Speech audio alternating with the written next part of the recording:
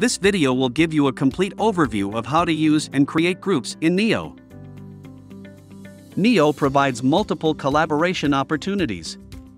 Administrators and teachers can create two types of groups groups for collaboration and teams.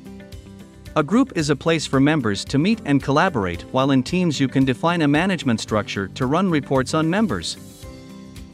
View the group catalog to see all the groups in your institution.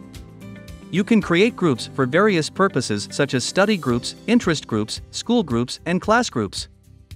Each group has its own dashboard, news feed, calendar, resources area, forums, chat rooms, and more.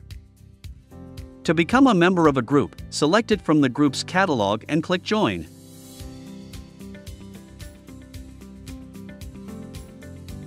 To add a new school group, go to the Groups tab in the left bar and press the Add button. Then choose the type of group you'd like to add. Enter the name of the group, then select its type and scope.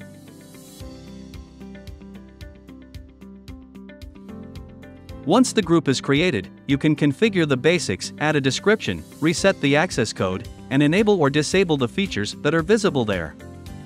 To add members to your group, go to the Members tab, press Add, then select the people you want to add. Similarly, to add a new class group, you need to visit that class, find the Groups tab, then add another one. Now you know what groups are available in Neo and how you can add them. Sign up today for the Neo free plan and join our millions of happy users.